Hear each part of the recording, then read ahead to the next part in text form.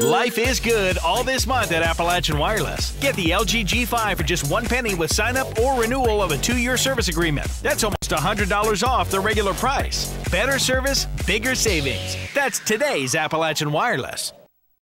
In the past few weeks, Kentucky Department of Fish and Wildlife officials have been busy fielding complaints about black bears, and the majority of those calls are reporting bears getting into garbage. And uh, that by far is our number one complaint. Any given year, it's probably 70% of our complaints is garbage related. And lots of those calls have been about bears getting into dumpsters in Elkhorn City.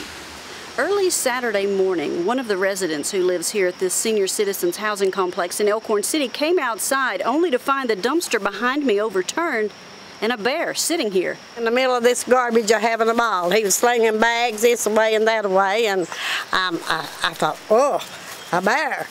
Jason Plaxico says homeowners can reduce bear sightings by making sure their garbage is secured in bear-proof containers and by making sure they don't leave large amounts of dog or cat food outside.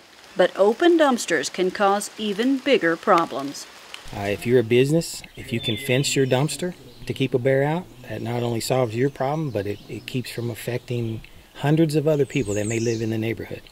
There are at least four major problem areas identified in Elkhorn City, and two of them are dumpsters located near housing complexes. Many residents in Elkhorn City are hoping that the bear sightings are going to stop, but they know that's only going to happen if dumpsters and garbage cans in the city are bear proof.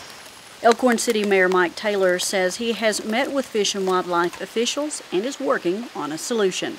We have a plan in place right now to fence that, and he showed us like putting the barbed wire, like turning it inside, told us how to do that and all that. And that's what we're going to do to see if we can prevent anything else happening again. Maybe we can, that they won't come back.